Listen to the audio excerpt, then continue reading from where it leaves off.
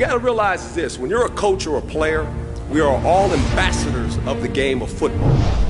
You understand what I'm telling you? You're an ambassador for the game of football. You rent that jersey with your name on the back of it.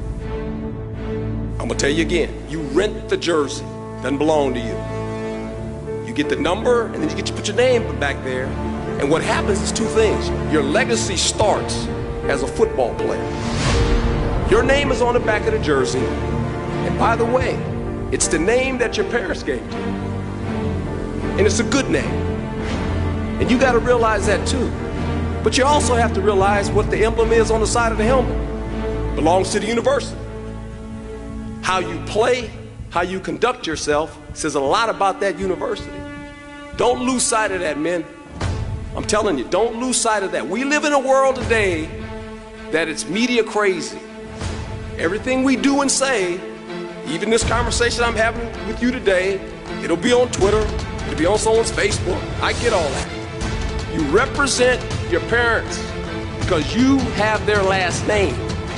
You will give that name to your children one day. Make sure that your legacy continues with your life, that you give it to your children in good standing.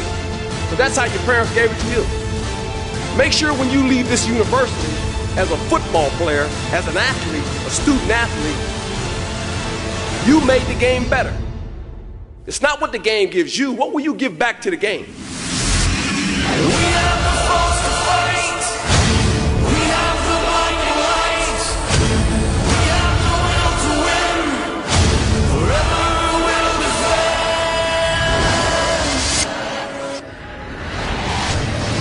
Up the sideline, he throws a pitch. Still on his feet. Could he?